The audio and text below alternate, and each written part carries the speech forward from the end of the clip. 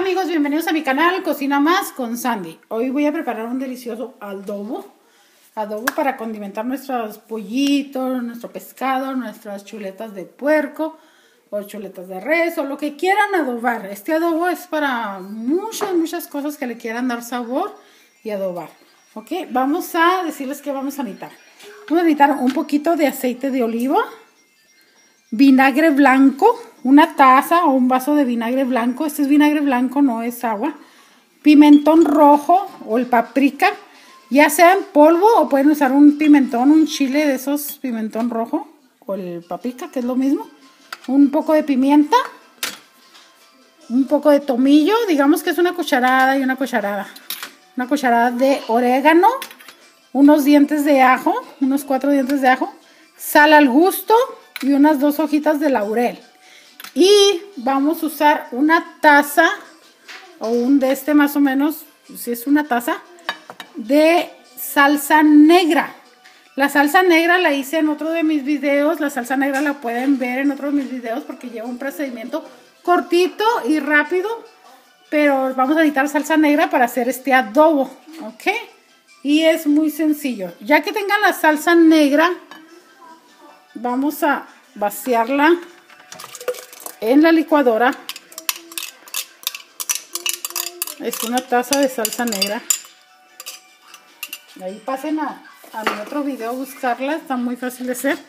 Vamos a echarle un poco de aceite de oliva. Digamos que una media tacita de aceite de oliva. Una dos hojitas de laurel sal al gusto cuatro dientes de ajo una cucharada de orégano, una cucharadita de tomillo, unas dos o tres cucharaditas de paprika o pimentón rojo, un poquito de pimienta molida, vamos a echarle, digamos que una cucharita también, más o menos, y nuestro vaso de vinagre blanco, ok, si creen que necesitan más vinagre, le ponen más vinagre. Vamos tapando y vamos licuando. Ok amigos, vamos apagando. Y este adobo sale delicioso, huele delicioso.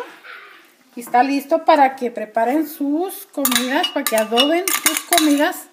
Como les digo, está rico para un pescado, para pollo, para carne de puerco, carne de res, para lo que gusten.